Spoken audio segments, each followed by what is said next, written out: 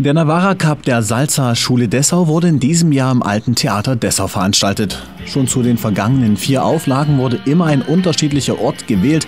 Mit dem Alten Theater macht der Navarra Cup den nächsten Entwicklungsschritt.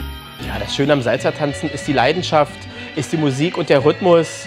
Ähm, ich sage auch mal fernab des Mainstreams, also ist kein ausschließliches, Salz, kein ausschließliches ähm, Standard- und Lateintanzen, sondern schon was Besonderes. Und ähm, gerade die Männer können sich froh schätzen, wenn sie sich über die Anfangsstunden gequält haben, dann mit ihrer Partnerin ein Hobby zu haben, was nicht jeder hat.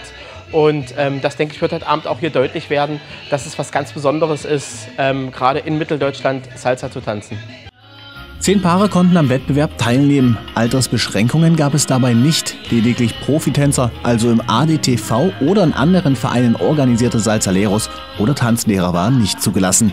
Schließlich geht es beim Navarra Cup weniger um die perfekte Ausführung der Salsa. Ja, es hat natürlich auch technische Aspekte, der Wettbewerb, aber auch ganz besonders die Ausstrahlung, die Harmonie zwischen den Paaren ähm, und ähm, das Austanzen der Figuren an sich, das Rhythmusgefühl und natürlich auch die Kleidung am Abend spielt eine ganz wesentliche Rolle. Und die Publikumsreaktion natürlich auch, weil ähm, es soll natürlich auch den Gästen Spaß machen und ähm, dann wird so ein Abend auch einen würdigen Sieger hervorbringen. Die besten drei Tanzpaare konnten sich am Sonntag über Preise freuen. Auch das macht den Navarra Cup zu etwas ganz Besonderem.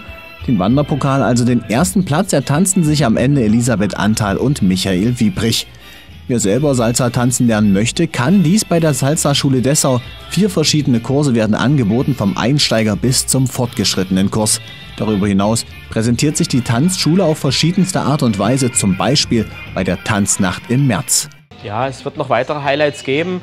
Ähm, außerdem dem regelmäßigen Programm der Salzerschule Dessau, also dass wir an verschiedenen Veranstaltungen und Aktionen teilhaben, werden wir uns dieses Jahr im Rahmen des Sachsen-Anne-Tages präsentieren. Wir werden erstmals das Dessauer Salzerboot, was schon eine zwölfjährige Tradition hat, auf der Gotsche fahren lassen und ähm, werden auch wieder im Sommer und im Herbst in Kooperation und Zusammenarbeit mit der Tanzschule Günther ähm, kleinere neue Veranstaltungskonzepte platzieren, um das Tanzen und das Salsa-Tanzen zu präsentieren, zu verbinden und für die Leute erlebbar zu machen. Frei nach dem Motto rhythmische Bewegungen zu sonnigen Salsa-Klängen. Mehr Informationen zu Salsa in Dessau-Rosslau finden Sie unter www.schlaflos-in-dessau.de.